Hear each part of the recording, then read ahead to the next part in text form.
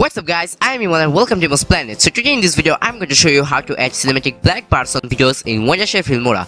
So first of all, you need to download Wondershare Filmora video editing software. So go to the description and then click on the link and then it will take you to the official website of Wondershare Filmora. From there, first of all, download and install Wondershare Filmora and then let's check out how can we do it. I hope you will enjoy. Audio Jungle. Audio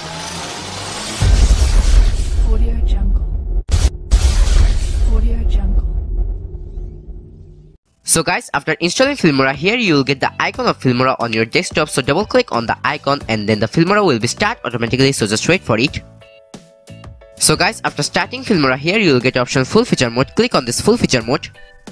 And then you'll get the main interface of Filmora. Now you have to import that video which you want to edit. To import that video, click on this import and then click on this import media files and then select that location where the video is. So this is my location and this is my video. So I will select this video and then I will click on this open and then the video will be imported automatically on the media. So just wait for it and after importing that video select that video and then drag and drop it on this video layer.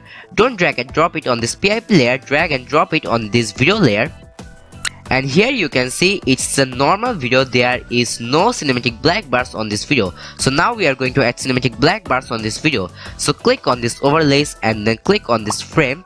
And then at the end of this frame here you will get a option cinema 21 inch to 9 so select this and then drag and drop it on this overlays layer and now here you can see it will add the cinematic black bars on this video.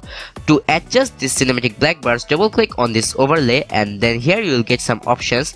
By this border edge option you can adjust the size of this cine cinematic black bars. And by this alpha option you can increase or decrease the opacity of this cinematic black bars. So after doing everything click on this ok.